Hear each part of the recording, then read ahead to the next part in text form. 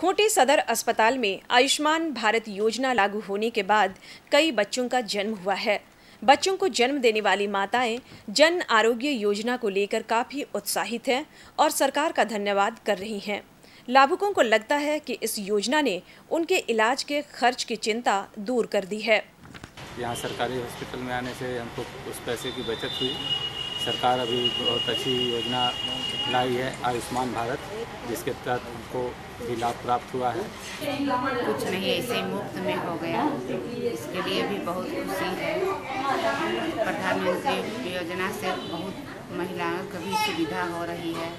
उसके अलावा सेवा भी सही जगह है, साफ़ सुथरा सभी कुछ में यहाँ। प्रधानमंत्री आयुष्मान भारत योजना बहुत लाभदायक है। जो गरीब लोग का गर्भवती महिलाओं को पैसा नहीं के कारण जान भी चली जाती थी, वो अभी हम लोग को लाल कार्ड से मुफ़्त यहाँ इलाज हो रहा सरकारी में।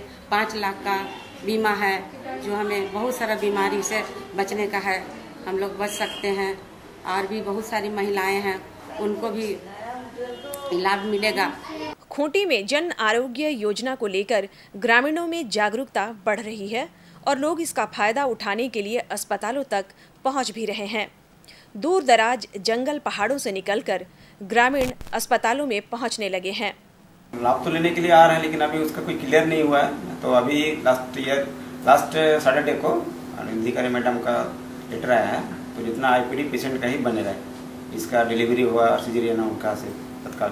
आयुष्मान भारत जो अभी सरकार की तरफ़ से जो योजना चल रही है उससे मतलब पूरे ज़िले में हर गरीब परिवार के लिए बहुत ही लाभदायक है।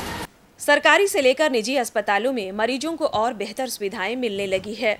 पैसे के अभाव में परेशानी झेलने वाले मरीजों को काफ़ी फ़ायदा हो रहा है। खूंटी से ज्योत्सना की रिपोर्ट।